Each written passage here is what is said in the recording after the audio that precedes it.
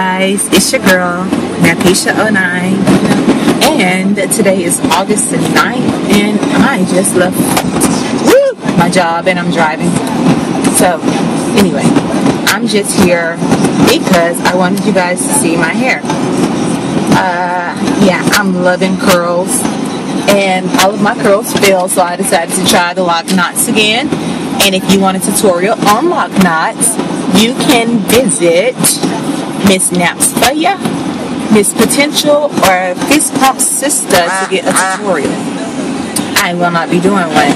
But um, the way that I do my knots is on dry hair. I take maybe two and I tie them, of course, with two hands with a knot into a knot while it's dry. And then I take a water bottle and mist it on my hair. And that that works, as you can see it worked for me. Some people do it on sopping wet hair.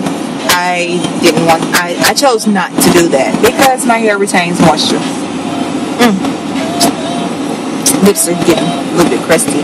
And I really wanted to show you guys uh, my face with makeup on because I hardly ever wear makeup. And every time I make a video, I look a hot fucking mess. But uh, it's okay. Mm. I need to drink some water, y'all. I've been in that meeting all day, and I know I'm dehydrated because I can feel my lips drying out. So please excuse the crusty lips.